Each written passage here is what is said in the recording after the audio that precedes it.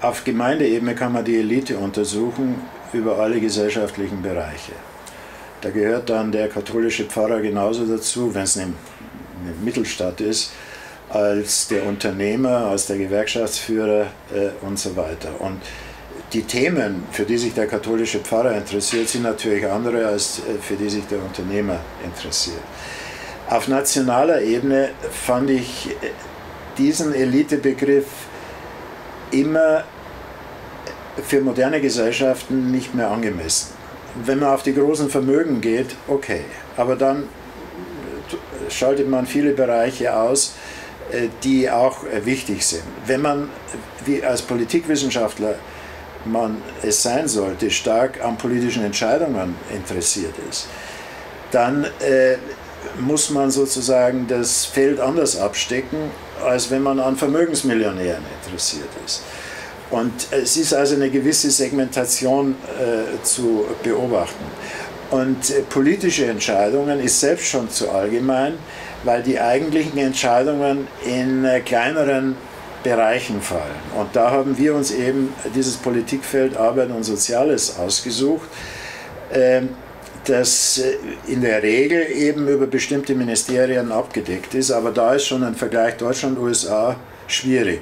Und da ist es eben hilfreich, einen Systembegriff zu haben, wo sozusagen im Kern ja steht, ein soziales System entsteht dadurch, dass Personen mit Bezug auf ein Symbolsystem miteinander interagieren.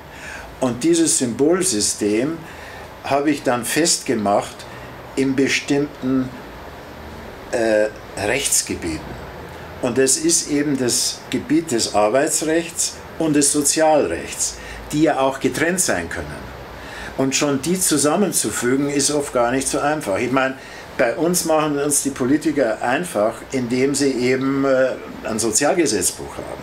Und die Politiker, die Gesetze vorbereiten für so einen Themenbereich, die machen das natürlich in Bezug auf dieses Symbolsystem. Die können nicht mit völlig abwegigen Ideen kommen, sondern es muss eingefügt werden in dieses Rechtssystem. Und äh, das ist eben dieses Politikfeld.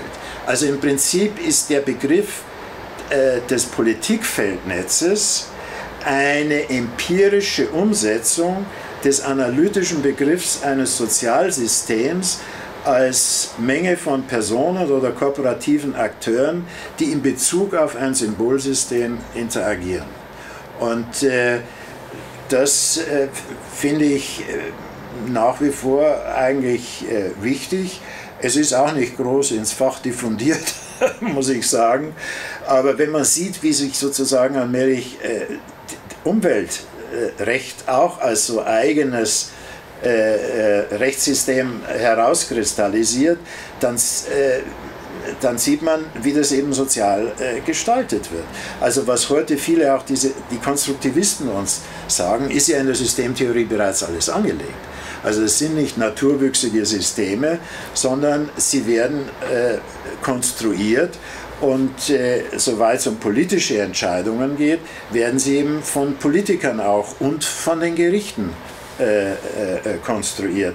Man darf ja nicht vergessen, wenn man einen systemtheoretischen Ansatz hat, dann sieht man ja nicht nur auf die Gesetze, für die der Bundestag und Bundesrat zuständig ist, sondern man fragt sich, was ist in diesem Politikfeldnetz auch noch als Letztentscheidung wichtig.